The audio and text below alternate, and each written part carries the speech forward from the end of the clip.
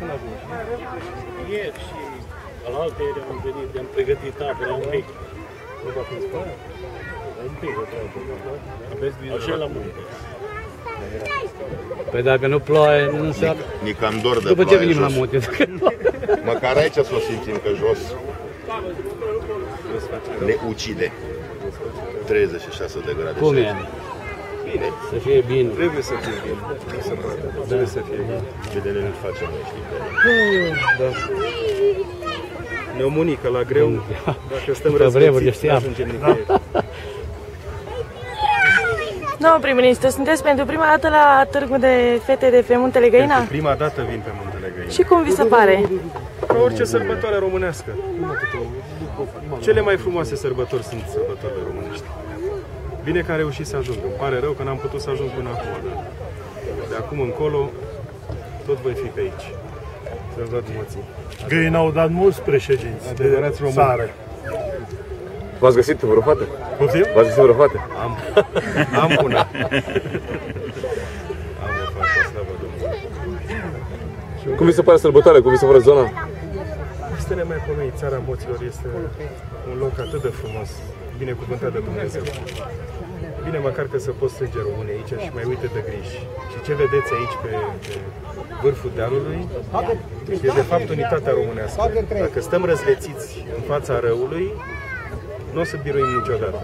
Când ne strângem la oaltă și uităm de grijile fiecăruia și ne dăm seama de fapt că deasupra noastră e România, atunci, atunci învingem și atunci avem viitor. Și ce se întâmplă aici e imaginea unității, că de asta vin românii, să se simte, să fie împreună și să se simte bine, e o mare familie. Asta trebuie să învățăm de din nou. Că, suntem, că trebuie să fim împreună. Și la bine și la greu. Acum este la greu? Ai Acum adus este la apa, greu, stai? da, acum este la greu. Acum este la Apă greu. de Și la izvor. restriște, De trei. la restriște am știut să ne strângem la oaltă. Trebuie să învățăm din când în când să fim împreună și la bine. Dar deocamdată depășim răul, facem în așa fel încât să nu ne ducem După are aici. să nu meargă țara asta într-o direcție pe care nu o vrea nimeni și să știm că pruncii noștri și familiile noastre sunt, sunt bine. Că la urma urmei am muncit prea mult ca să distrugem în câteva săptămâni ce s-a putut clădi în ani de zile. Și asta să nu uităm. Că nu e bine să se întâmple așa. Nu e bine. Nu Dar e ați bine. ales greșit, domnul Ungureanu. Poftim? Știți ce? Ați ales greșit. Știți ce ați ales greșit? Spuneți-mi. Că nu v-ați separat și de stânga și de dreapta. Dar eu nu, vedeți, eu nu aleg în Aici e situația asta. problema. Eu, aleg, eu am o singur, un singur partid am. Și partidul ăla e națiunea din care fac parte. Națiunea română, Eh, N-ați din care spus tot sunteți și timpul așa. dumneavoastră. Nu ați spus tot timpul așa. E, atunci o spun acum ca să fie pentru fiecare înțeles. Prea târziu. Nu știu dacă e prea târziu. Eu v-am simpatizat și vă simpatizez continuu. Vă mulțumesc. Dar eh, nu trebuie să alegeți nici stânga, nici dreapta. Exact cum am spus la început. E, așa rămâne de acum. Cum am Să spus fie la început, clar. așa trebuie să Să faceți. fie clar. Pentru că asta Mai bine vă aliați cu ciorga. Da, Și salut. Să veniți. Știți cum e? Mai bine ne aliem între noi ca să facem studii Eh, între Aici noi. e greșeala noastră. El s-a aliat, Dați-mă s-a gândul. aliat cu stânga deja.